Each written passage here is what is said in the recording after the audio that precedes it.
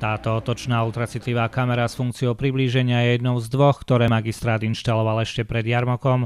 Tá prvá putovala do podsadku, kde sníma okrem jeho časti aj breh pod Ľubovnianským hradom. O umiestnení tejto rozhodol jej široký záber. Druhá kamera na gymnáziu vlastne nám pokrýva veľkú časť mesta, v podstate od e, obchodného domu Lidl cez trhovisko, úrad práce, až vlastne tento mestský úrad. Napriek tomu, že stará ľubovňa je už pomerne dobre zmonitorovaná, s doplňovaním kamerového systému mesto neplánuje skončiť.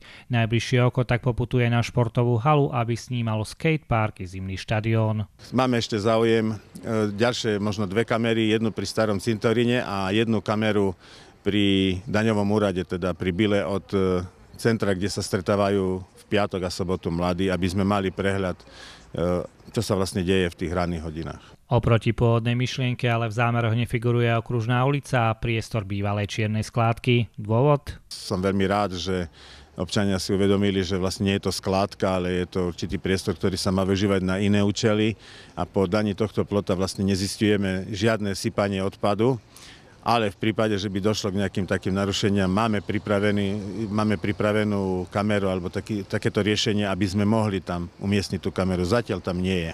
Úspešný projekt, na ktorý Rada vlády Slovenskej republiky pre prevenciu kriminality prispela sumou 10 tisíc eur, však nebol len o kamerách.